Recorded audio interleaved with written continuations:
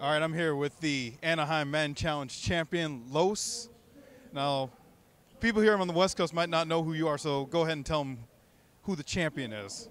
All right, my name's Los. I'm from Tampa. I lab with Thumbmonkeys, User, Chow, Neff. Tough. We here. Tell me about that last match because it seemed like once you held down Dynasty early, it was pretty much over. Yeah.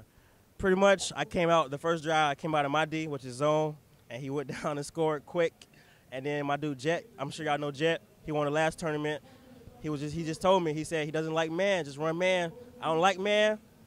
But I'm in the championship. I had to try. I tried it. I got a pick on the very first play, and it just, it just I just took the game over.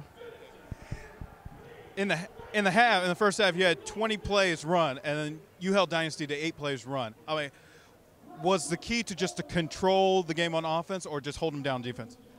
Well, I mean, I pretty much the whole tournament just hold it down, just control the ball. If I had the ball, you can't do anything. I don't. I mean, my offense, I pretty much score on everybody. I just, I just control the game, control the clock. How big was that touchdown at the end of the half? Yes, that's that's the biggest play of my life so far in Madden. Like that was huge. Like really, I wanted to just throw a short pass and get a field goal, but everybody was covered, so I just, I just said, why not? And they caught it. Were you surprised that Dynasty went for two uh, the first time uh, he scored?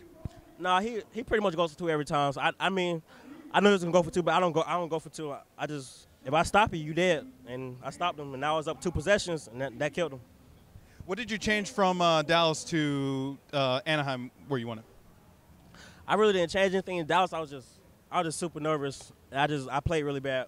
I I didn't change anything. I just labbed and I just played better here. And what are you going to do now uh, bet- be- uh, between now and uh, Miami for the finals?